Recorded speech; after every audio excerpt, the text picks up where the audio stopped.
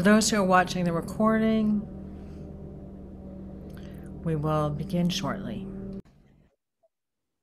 Did you guys hear that when it said recording in progress? Okay. Yeah. I didn't know if you heard or not. Because if I don't hit record now, then I will forget when I start talking.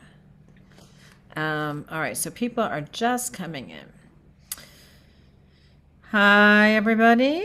Um, so Val, that's the downtown building behind the um, person who says Michael Bruckheimer. It's just a picture Ah. of the historic building downtown. Oh, it's interesting. It is. They call it the Cupcake. Yep, the Cute. kosher I that. cupcake. That's only part of the building. So we have two campuses, downtown and um, um, no. Oh, hang on, hang on.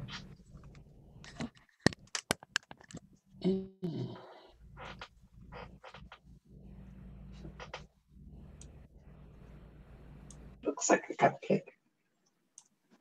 The kosher cupcake. called the bucket.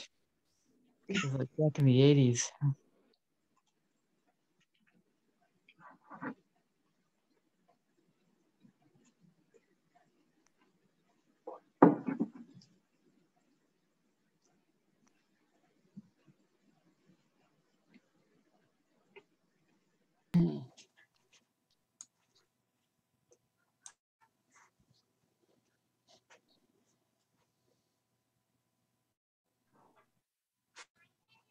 Oh, here's Judith Fails. Okay, we'll give it like another two minutes. We now have eight people plus me out of 23 people who are signed up. So I think people are just coming a little late.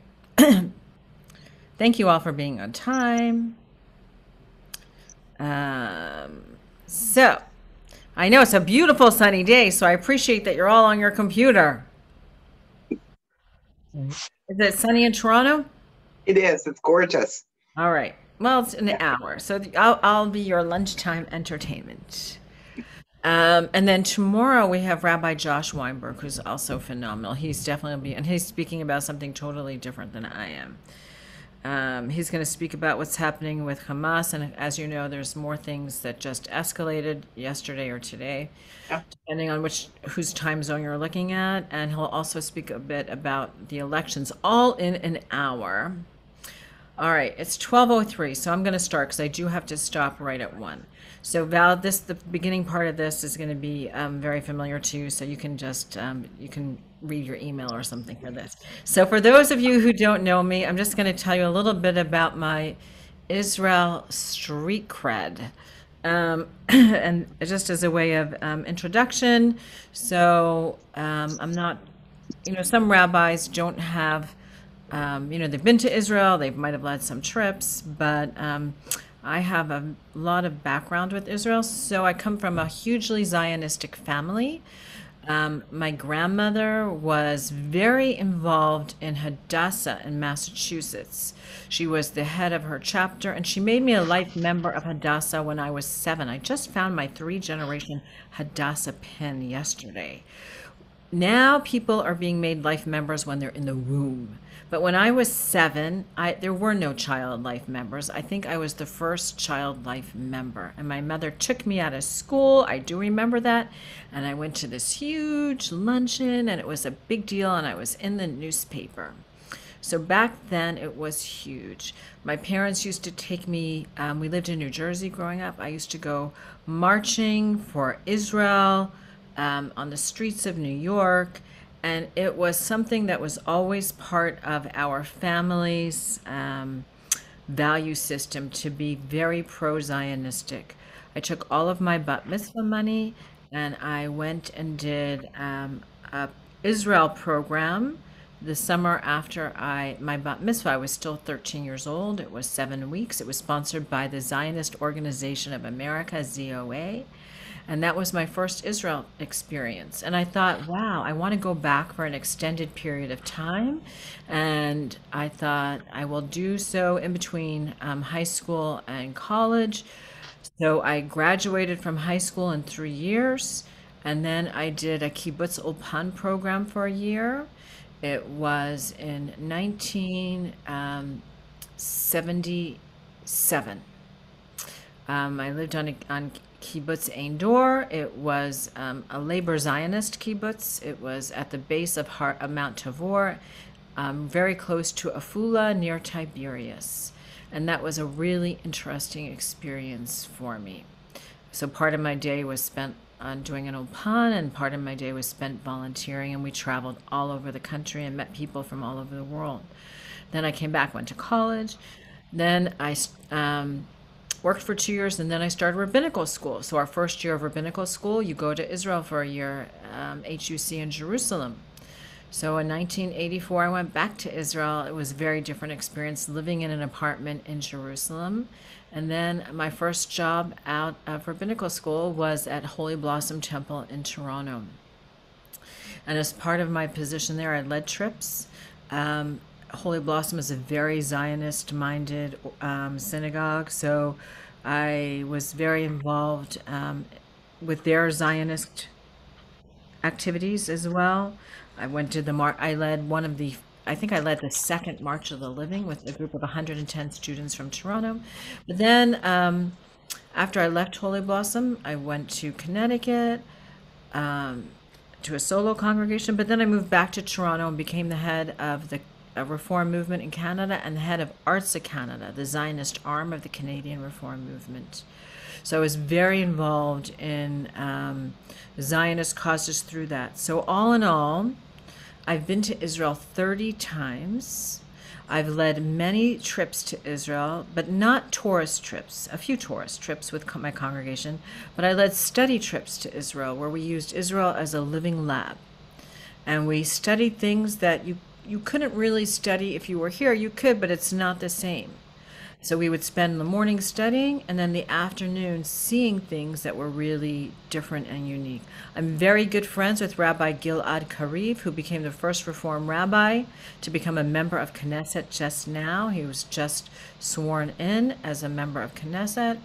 And um, I've raised a lot of money for the Israeli Reform movement because I've done eight bike rides, eight fundraising fundraising bike rides in Israel as part of a bike ride that doesn't exist anymore called um, riding ride for reform. It was a, one of those fundraising bike rides. So i have been to israel many times. I've talked about israel. I come from a zionist family. My politics people will think i lean really far left. I think i'm just i'm very middle of the road probably leaning a little to the left just so you know where i stand so i just wanted to put all of that in context um, so what we're going to talk about today, we're really just touching the surface. There's so much to talk about. Israel is really complex and complicated, um, and it still is a very new, modern country. And people like to express their opinions without knowing the facts.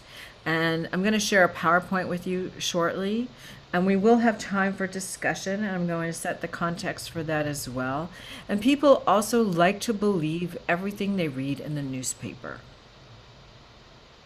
But we need to remind ourselves that the newspaper is very one-sided and doesn't always present um, a clear picture and some of what we see in the press is also manipulated and it's manipulated to one side and unless we go there and see things with our own eyes, we will not get a full picture. And it's easy for us to be armchair critics, but we are not there. And unless we hear from people who live there, it's hard to understand.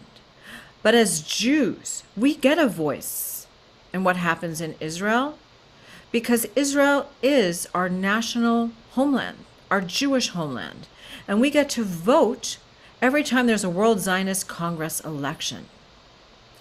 And so it behooves us to understand really well what's happening, not just to understand it by listening to really knowledgeable people from here, but it behooves us to go, to see for ourselves what is happening, to listen to people there, not just go as tourists, though Israel needs tourists, but to go and to meet with people on both sides to hear with an open mind and to see for ourselves what is taking place.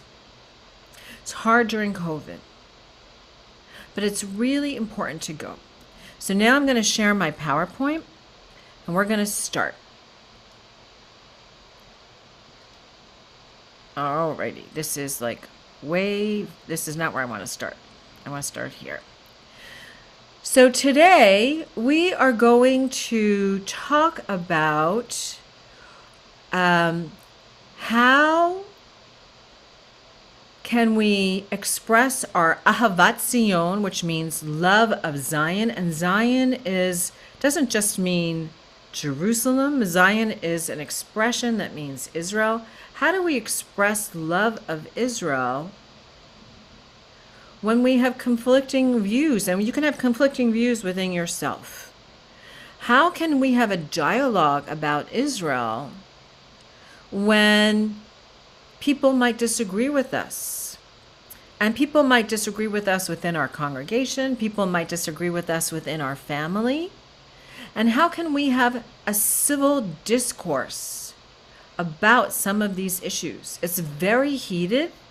We know even within Congress it's heated.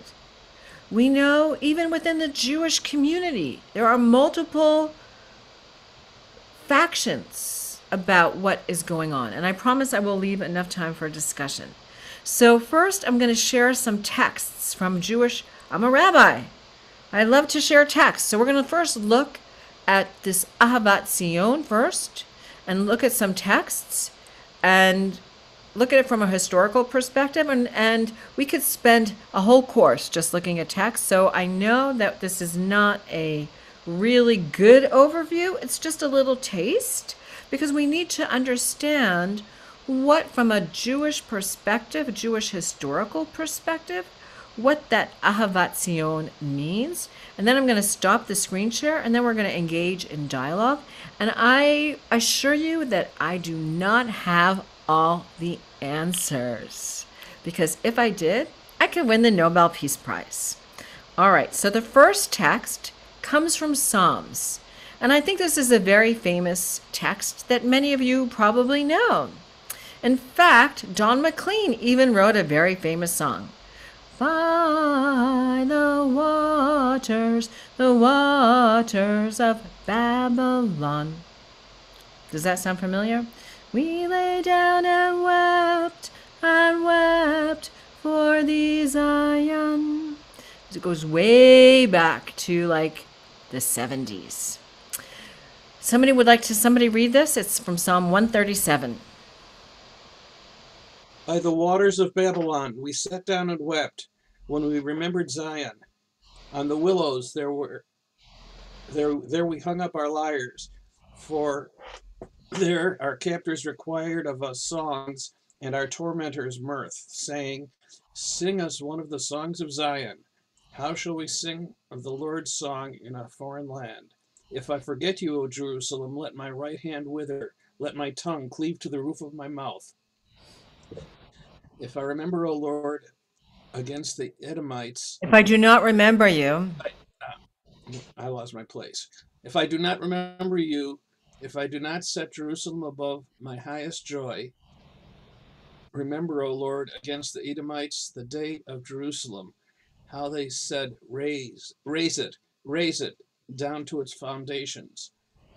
O daughter of Babylon, you devastator, happy shall be he who requites you with what you have done to us. Happy shall he be who takes your little ones and dashes them against the rock. All right, so we're not going to spend tons of time talking about this because we have so many things to talk about. So, in a nutshell, what is Psalm 137? So, first of all, this is was written after Nebuchadnezzar and the Babylonians came and uh, invaded the land of Israel and took the Israel the Israelites captive in the year 536 um, before the Common Era. And what is this saying? In a nutshell, anybody?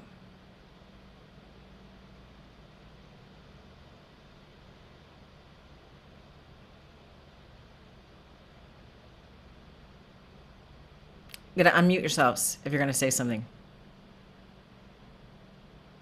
A volunteer. So the Israelites were in Babylonia, and they're saying, no matter where we are, the land of Israel and, and Jerusalem will always be in our hearts and our minds. No matter where we are, we will not forget you. We can be in Babylonia, we can be wherever, and we will be sad. We will be terribly sad. We'll be in mourning that we're not there. This was like the first of the many diasporas, right? How can we sing? How can we sing God's songs if we are not in the land of Israel? This is horrible for us. So, this is a song of mourning, Psalm 137. All right, keep this in the back of your mind. Now, this is an ancient map of the world. Looks like a flower, doesn't it? Um, this is Europe. This is Asia. This is Africa. And this is the land of Israel. This is Jerusalem. So, where is, don't read the text on the side. Where is Jerusalem? Right in the middle of the world. It's right in the middle of the world. Everything revolves around Jerusalem and Israel. It's the heart of the universe. Pretty interesting, right? And now a midrash. This is actually a compilation of midrashim. Somebody else volunteered to read over here. Somebody?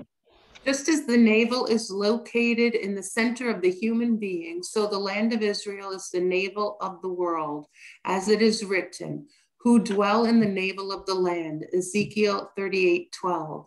The land of Israel sits in the center of the world, and Jerusalem in the center of the land of Israel, and the temple in the center of Jerusalem, and the sanctuary in the center of the temple, and the ark in the center of the sanctuary, and the foundation stone, Even Shetiya, in the front of the. Thank you. In front of the sanctuary from which the world is founded. So what is this saying?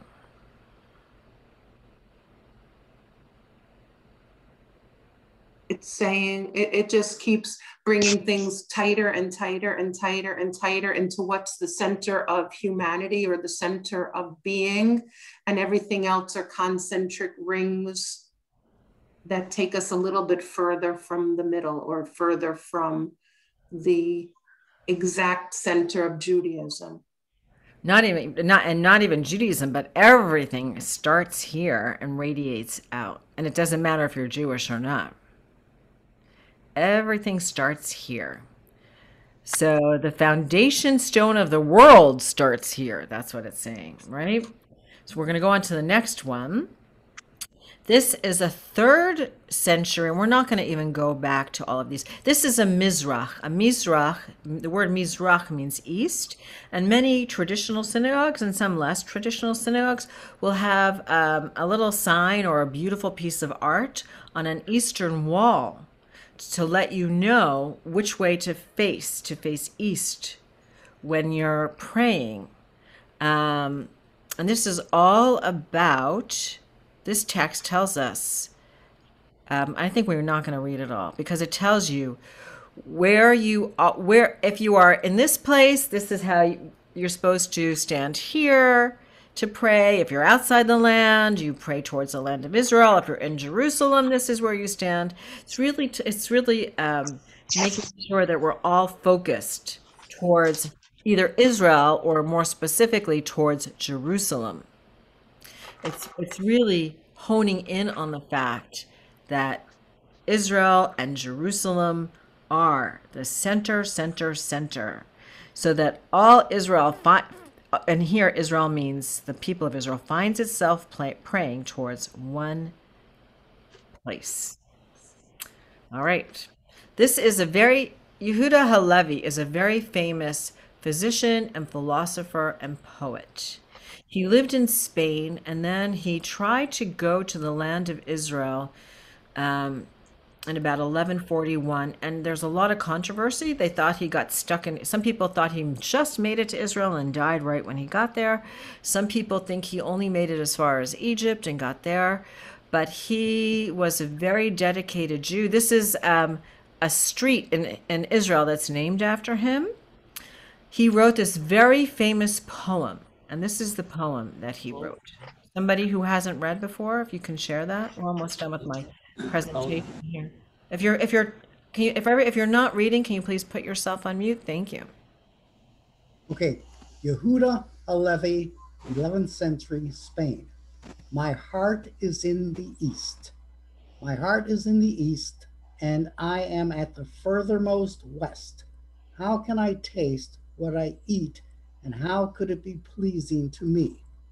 How shall I render my vows and my bonds, while yet Zion lies beneath the fetter of Edom, and I am in the chains of Arabia?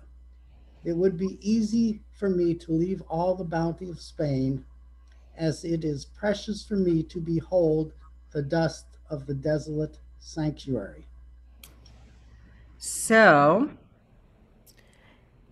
um, he where he's longing to be in Israel. Look at the years here. It's before the Spanish Inquisition, right? But what's beginning to happen? The Crusades are beginning to um, take place, and there was a huge, terrible massacre in the 1300s in Spain called the Chmelnytsky massacres. So anti Semitism is already started to raise its head. Whenever you see the mention of the word Edom and the Edomites, it is um, a euphemism for enemies. Arabia is also a euphemism for enemies. So here, he's referring to the fact that the Crusaders have begun to take over what's happening in the land of Israel. He feels oppression and anti Semitism taking place in Spain, but he longs to be in the land of Israel. I am in the east, and my heart. My, my heart is in the east, and I am in the furthermost west. He really longs to be in Israel because that's his home. And yet he's stuck in Spain. And eventually he makes his way there. And he doesn't feel like he can eat or drink or make his, you know, Yom Kippur vows or pray because he's not in his home. That's how important the land of Israel is to him. One more piece before we get to so. Hatikva is actually so it really means the hope. It was written in the year 1886 by an English poet who was originally from Bohemia. Anybody know that? And the music was written by an immigrant from Moldavia. Now, Hatikva itself is very controversial. Um, so long as within the inmost heart a Jewish spirit sings, so long as the eye looks eastward, gazing toward Zion, our hope is not lost. The hope of 2,000 years to be a free people in our land, the land of Zion and Jerusalem, because this is the Israel national anthem. If Israel is a Jewish democratic state, why is so? This tells us our why um, Israel is important to the Jewish people. And I don't want to. We're not going to have a long discussion about this now. But why is this controversial? Because there are people who live in Israel who are not Jewish. Exactly. So that's why you'll see the Arab members of Knesset will probably not stand when Hatikva is being sung. And there's a whole discussion about that, and that's another discussion for another time. So I'm going to stop the screen share now. So just from some of these texts, you can see Ahavat Zion, love of Zion, is deeply embedded in the texts of our people, in biblical text, in rabbinic text, in poetry. So, love of the land, love of the country is something that's so important to our soul. We know that God says to Abraham, Leave your home, your birthplace, your father's house, and go to a place that I will tell you. I will give you this land as inheritance, and I will make your descendants as numerous as the stars in the heavens and the sea in the sky. But he doesn't go to a land that's empty of any other inhabitants. It's a land that's shared by other people. And God made that same promise to other people as well. It's not a promise that's unique to God and the Jewish people. And Israel, the people of Israel, are also called Or LaGoyim, a light to the nations. And through probably 1973, through um, the War for Independence, through the Sinai Campaign in 1956, through the Six Day War in 1967, through the Yom Kippur War, Israel lived up to that notion of Or LaGoyim, a light to the nations. But I think we held Israel to a higher standard. We don't talk about the United States. Now we do. But we didn't talk about United States, America, you know, um, people coming to the United States and taking land away, or Canada taking land away from Native Americans. We don't talk about what, you know, we learn about manifest destiny in high school, but we don't really talk about what is manifest destiny. Manifest destiny is taking land away from people who lived here before we did. You know, we used to tell the story about people buying New York for some, you know, exchanging it for beads. I grew up, I'm from New England. The symbol for New England was a pilgrim's hat with an arrow through it.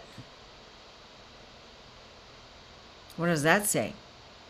That's not a symbol of, of New England anymore. It still is the pilgrim hat, but that is still that might be offensive to some people that it's still a pilgrim's hat, right?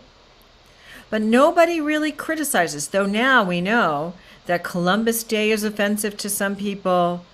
Um, Thanksgiving, when you're in Massachusetts, Thanksgiving is not a holiday that is celebrated by, thanks, by Native Americans, American Thanksgiving.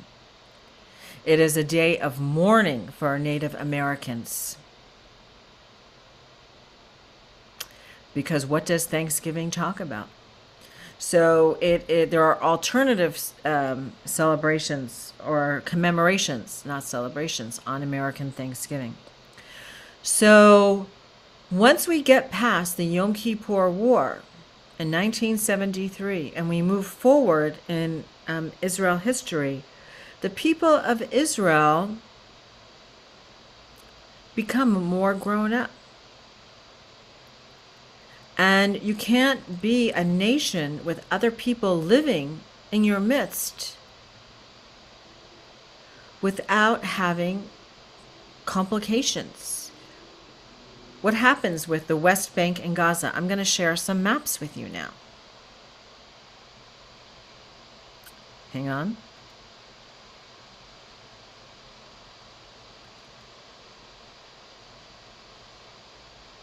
Oh, I have to stop the others.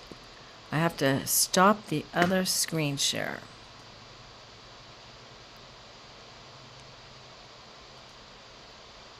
Okay, now.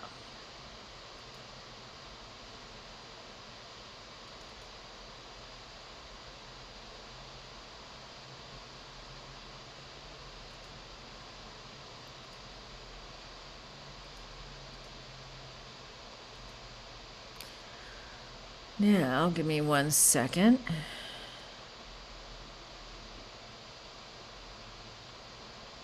My problem is I can't see them to start. There we go. Now I just have to adjust the um, my screen. Hang on, it's not letting me adjust them. Ah, give me one sec.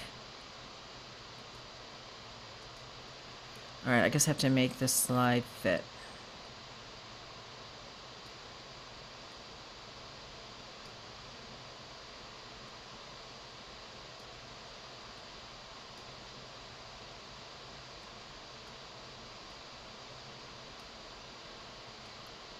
If you hear a sound in the background, I apologize. It's my fan on my computer. Okay. So this is, um, if you're sending me a chat, I can't really look at the chat and do the presentation at the same time.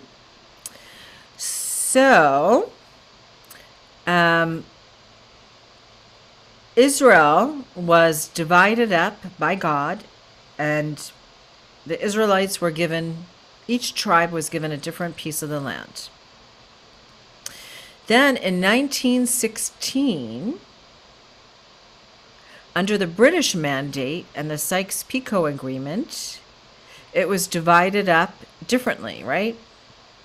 So here the Arab states were given this piece. It's hard to see, I know. There was the Arab states were under French protection over here. This was um, under Great Britain and French protection and Russian protection. This looks like a piece of Lebanon over here. Lebanon used to be called, um, and Beirut especially, the Paris of the Middle East. Then we come to over here. We're not going to have time to really go into this, but it just gives you a sense of things, right? The Ottoman Empire ruled the Middle East from 1517 to 1917. And you can get a sense of how they ruled it. We're not going to go into all of this, but I just want you to get it to see this. During the British Mandate rule, you can see what Palestine looked like. Very different shape than what it looks like now, right? But you can see Syria was over here, Iraq was under, so Syria was under the French mandate, Iraq was under the British mandate, you had Egypt over here, and Saudi Arabia over here.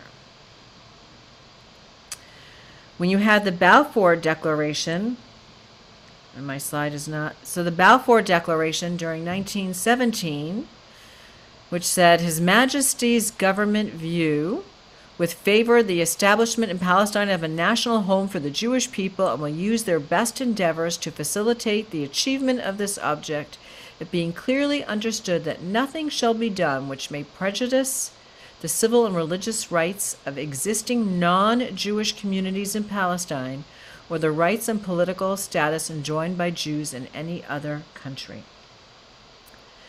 Then you had the UN partition plan.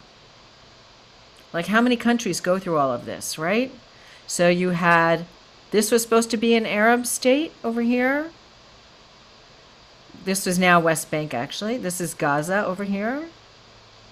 This was supposed to be a Jewish state, and this was supposed to be a Jewish state, and this was supposed to be Arab. So the Jews weren't going to get very much in the UN partition plan. After the 1948 War of Independence, this was under Jordanian rule. I have to move this because I can't see my screen. Here's Lebanon. This all became Israel. That's Egypt, Transjordan. I know I'm going very fast because I want to give time for a discussion, but I thought I think it was important to put all this in context.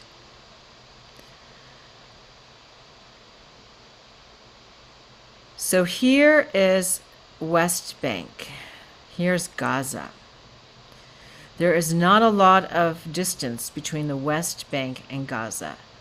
Gaza, I have a movie called Precious Life, which won an award in an Israel Film Festival. If I can find it, it's packed in a box. It's a really important. It was made during Operation um, Iron Lead or Cast Lead or whatever. It's a really important movie to see, and I think we should. At one point, I should show it to you. Um, it's about people from Gaza who get help for their um, son who's very sick, and they get help at Hadassah Hospital. There's not a lot of distance between Gaza and Tel Aviv, between Gaza and the West Bank. Gaza is very different than the West Bank. Hamas shoots missiles from Gaza, any place in the south, my you can't see my arrow. Any place in the south is really impacted by that, and they're now hitting Tel Aviv. They're hitting other places. That's not what this is about. Six Day War happens. They take over. They take back Jerusalem. If you have not read Yossi Klein Halevi's book Like Dreamers, I highly recommend it. It talks about how they retook Jerusalem during the Six Day War.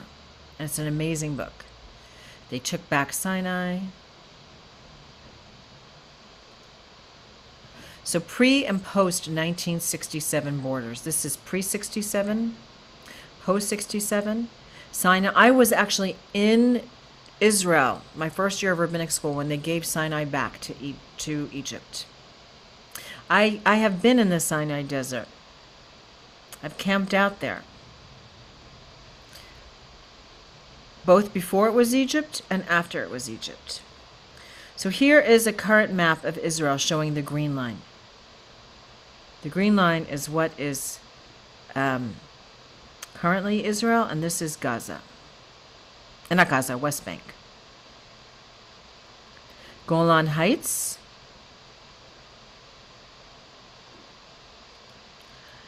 West Bank. Bethlehem is here. Hebron is here. Hebron is its own um, very complicated issue. We ca- uh, I'm not. We're not going to talk about that now. We'll talk about that at a different time. I've been to Hebron three times. I've been to Hebron when it was still under Israeli rule, and I've been under it three times. Three times now. Tulkarm is often a hotbed of activity. Nablus, Jenin. Um, but it's important to see all of this. Gaza. There's no grass in Gaza. Gaza is a cement city, densely, densely packed with millions of people. Um, all right.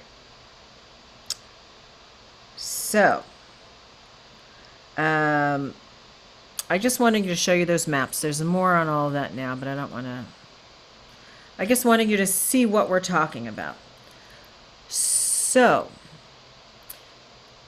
the situation in Israel is very complicated, and and people don't always understand what the story is. When Yasser Arafat made a peace pact with Yitzhak Rabin and Carter, it was very lovely, right? They all shook hands on the White House lawn. So nice. Millions and millions of dollars flew, um, uh, were sent in to the Palestinian Authority. It was supposed to be used to build up infrastructure in Gaza and the West Bank. It was meant to improve lives for the Palestinian people. Where's that money now? What happened to Yasser Arafat and his family? Where's his wife? Does anybody know where his wife is now? Paris. That money, unfortunately, the Palestinian Authority is highly, highly corrupt. That money went to the hands of the rich, and the average Joe Schmo Palestinian lives in a state of dire poverty. The average Joe Schmo Palestinian is at the mercy of Hamas, Fatah. Fatah is actually now on the losing end. Hamas has taken over in, in um, Gaza, and probably Rabbi Weinberg will talk about this tomorrow. But, and at the press, the average Joe Schmo Palestinian wants to go to work, feed their family, and live a life. The average Israeli wants to go to work, feed their family, and live a life. Israel does not want to oppress people. And there's two different stories, two different narratives that we have to be aware of. I'm going to go. Um, there are Arab Israelis who live within the confines of Israel, not in Gaza and the West Bank, right? Those Arab Israelis have Israeli passports. They are Israeli citizens. The Arabs who live in West Bank and Gaza, they are not Israeli citizens. They are under the they are citizens of the Palestinian Authority. And there's a third group. The Arabs who live in East Jerusalem, they are not um, Israeli citizens. They are not Israeli citizens, and they are not under the authority of um, the Palestinian Authority, and they are not citizens of Jordan. They are kind of no man's land, and it's really complicated. What makes things more complicated is there's a two-class system in Israel. Arab Israelis are full Israeli citizens, yet their school systems are inferior because they don't get the same kind of funding. They don't get the same kind of garbage um, services. They don't get the same kind of water services. Because they live on is- Israel land, their cities are not allowed to spread out like this. Their cities then have to move up like this. So they live in very densely packed towns. And their lives are not the same. It's a two class system. There are organizations in Israel with joint Jewish Israeli and Palestinian Israeli directors that are fighting for the civic equality of Israeli Arabs. One is called Sikui for the civic advancement of Arab Israelis. And the reform movement in Israel supports those organizations. The other is the New Israel Fund. The other is IRAC, the Israel Religious Action Center. Because if you're Israeli, it doesn't it shouldn't matter if you are Palestinian, if you are Jewish, if you are Christian, if you're Israeli, you're Israeli. You should be afforded full access to anything your taxes pay for. In the Arab Israeli towns, no Arabic bus stop signs or road signs. Everything is in Hebrew. That's not fair. If what if they don't speak Hebrew? The sign should be in the language that they speak in. What happens in Gaza and the West Bank is that Hamas purposefully uses civilians as human shields.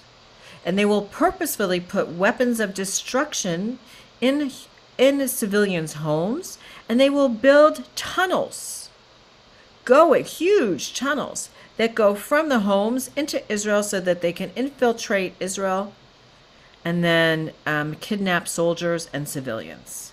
And they do it on purpose so that when there's action, that they know that the Israelis will strike back, but then they end up the Israelis will end up having to harm civilians, and the and Israel does notify when there's going to be an attack. They'll send leaflets, they'll do announcements, but Hamas will say to their civilians, "Do not leave your house. Do not leave." And I can show you photos of what these huge tunnels are. And Hamas will then also stage photos. So what you see in the press is not always accurate. Israel suffers from a propaganda disaster, but they also will make mistakes. What happened at the end of Ramadan was not something that should have happened. And I'm sure Rabbi Weinberg will talk about that. So when people read things in the press, they develop a, um, a feeling about Israel should or should not be doing this. So how do we have a love of Israel when people have different opinions? So it's 1244. So let's open it up for a dialogue. I've thrown out a lot of information. Questions, comments?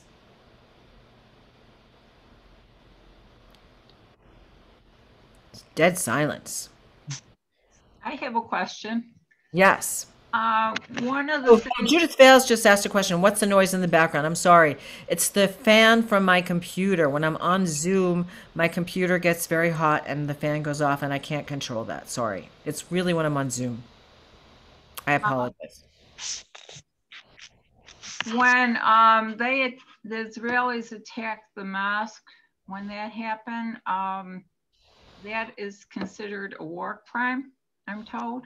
Is it? That, yes, and I think Josh Weinberg is a better one to ask about that. He can speak about that more directly. So I'm going to ask us to like put that in a parking lot and ask that tomorrow when Rabbi Weinberg is on. He, I think he is a better equipped to answer that question. It's a, it's definitely an act of provocation.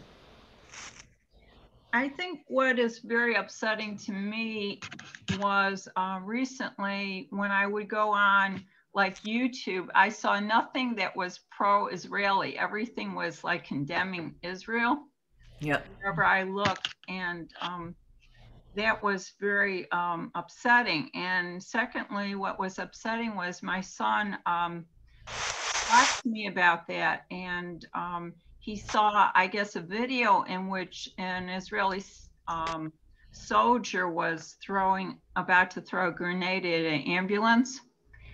And um, he asked me about that.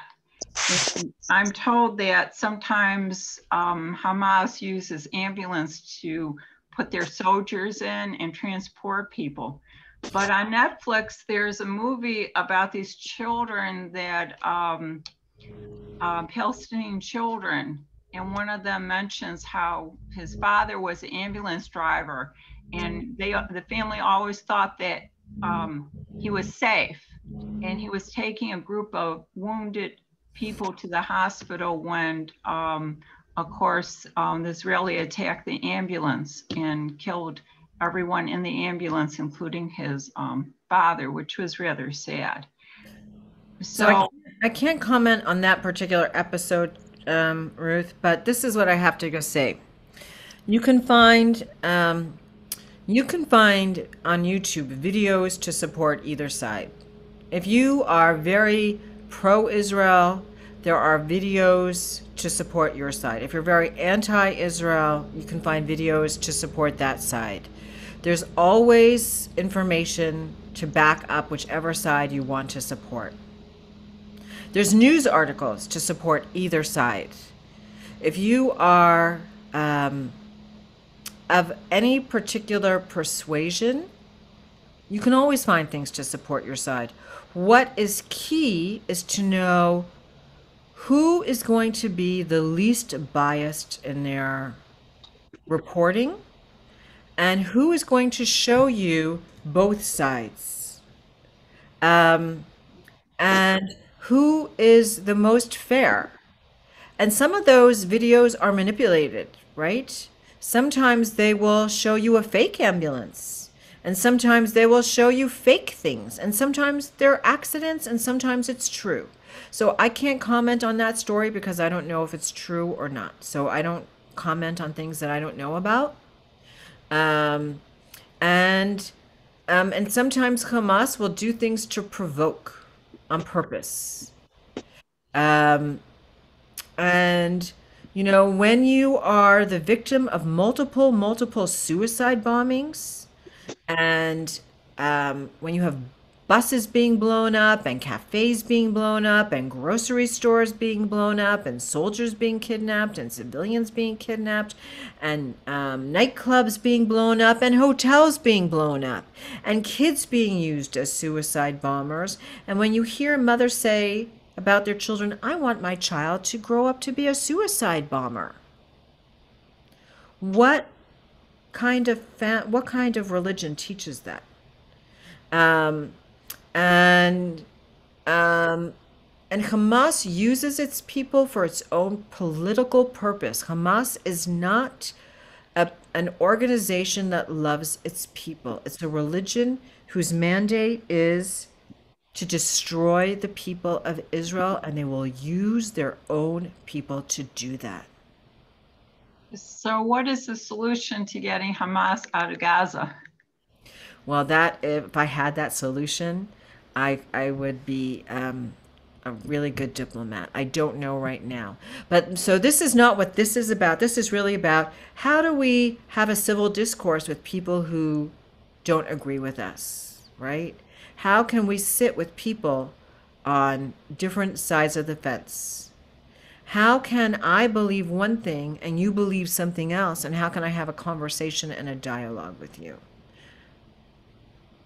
And how do we find accurate sources for reporting and for giving us? Um, how do we know that what we're reading is accurate? So so far, the best news, the newspaper, the you know, I read the New York Times. It's not always accurate. The best newspaper in the United States for the most accurate and unbiased opinion is the Wall Street Journal. Thank you. That has the least, there's still going to be um, inaccuracies, but the Wall Street Journal will give you the least of the unbiased. Um, if you see things from Donniel Hartman from the Hartman Institute in Israel, he's an Orthodox rabbi, but he is very open minded. Anything from the Hartman Institute, Yossi Klein Halevi, who lives, who's formerly from the United States, Yossi Klein Halevi, anything from the Hartman Institute, they will be open minded and they will be critical of Israel, yet love Israel.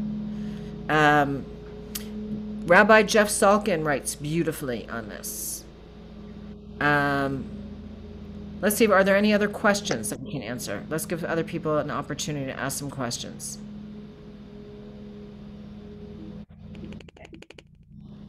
This is Judith, you Julia. look like you want to say something.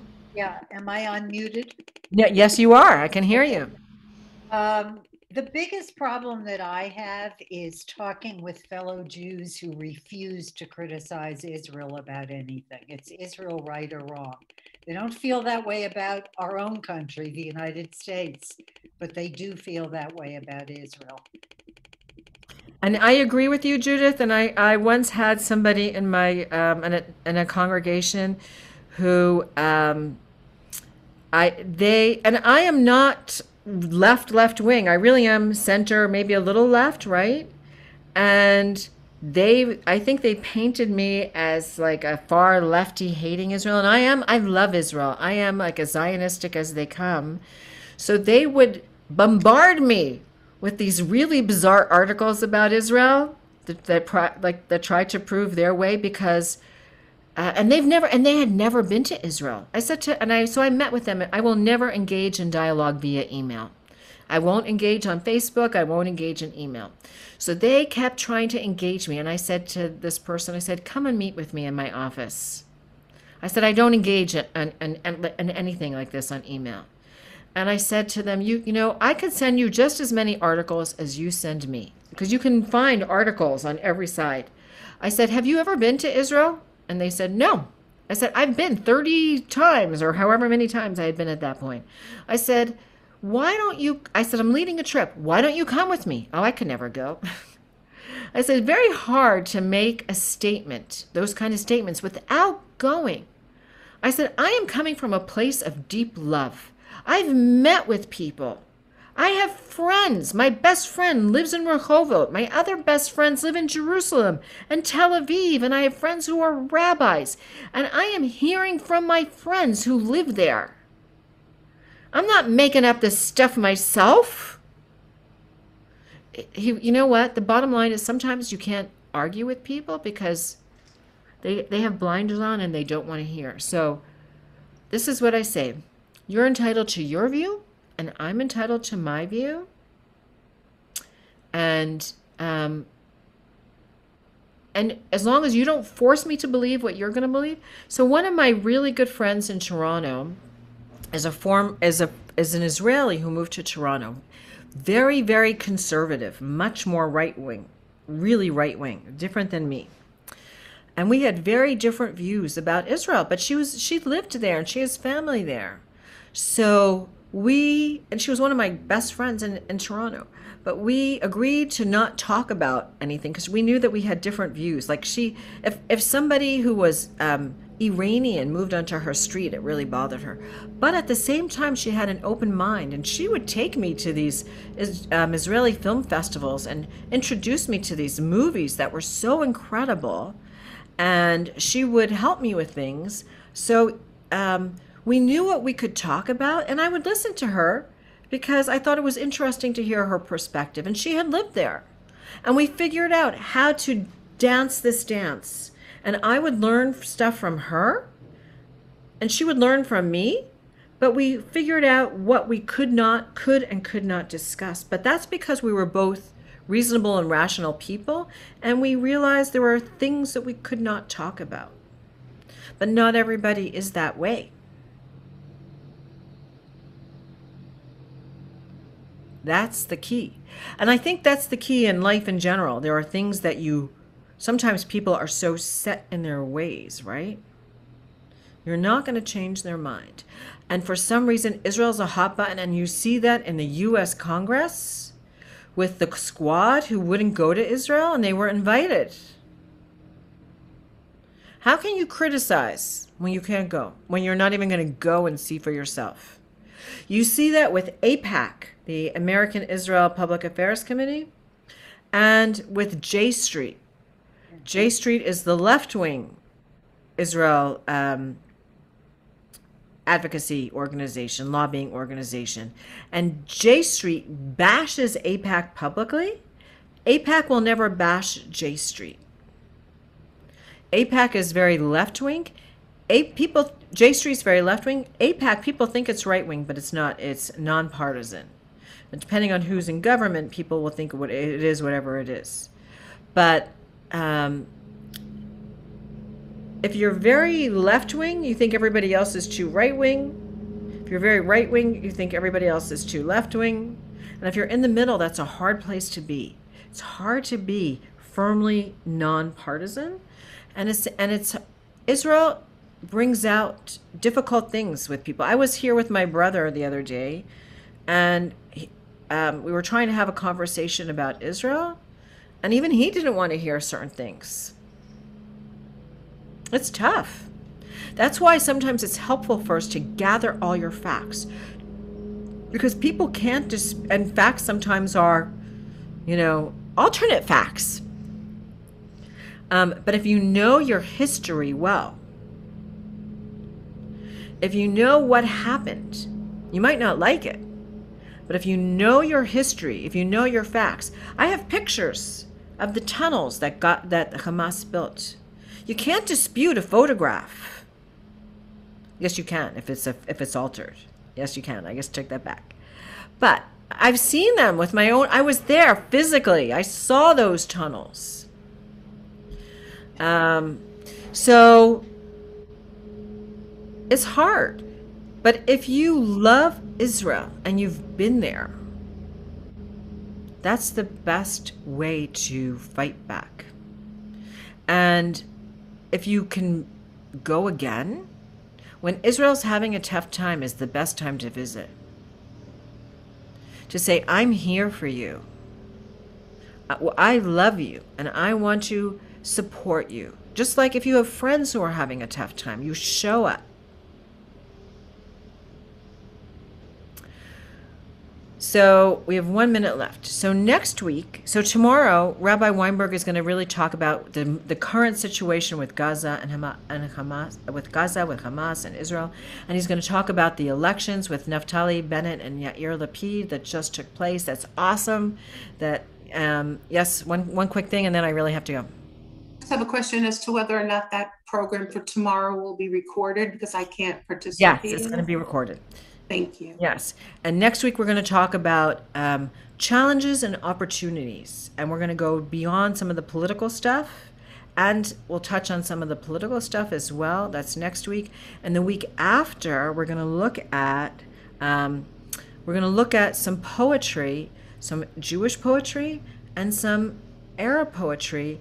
And I'm not going to tell you which is which. And you're going to have to figure out which is which because without knowing Who wrote the poetry? You're not going to be able to, all you're going to see is a deep love for the land. And we'll talk about that. And um, I learned some of this from Revan Sandler. Do you know Revan Val? So, um, and we're going to talk about the connection to the land. We're going to try to put ourselves in both of these people's mindset. There's so much we could do a whole long, a whole year long course on this. You'll hear um, Rabbi Weinberg just came back, like, re, like just from Israel. He just went to say, "I love you." We're here for you, but to see about the current situation, and he met with people on all sides. Um, so I think it'll be really interesting to hear his view, having just come back from Israel. He went on a fact finding mission, um, and it'll be really interesting to see. So I know I tried to squeeze a lot in and we just touched on little bits, but there's so much more. And if you have questions you want answered, email me, rabbisobel at tbz.org. And um, maybe we'll do a fourth session later on just to do a Q&A. But um, okay, there you go. Thank Have a you, great- Rabbi. Have a great week, everybody. Thank you, Thank Rabbi. you. Bye, Thank you. Rabbi. Thank You're you. welcome.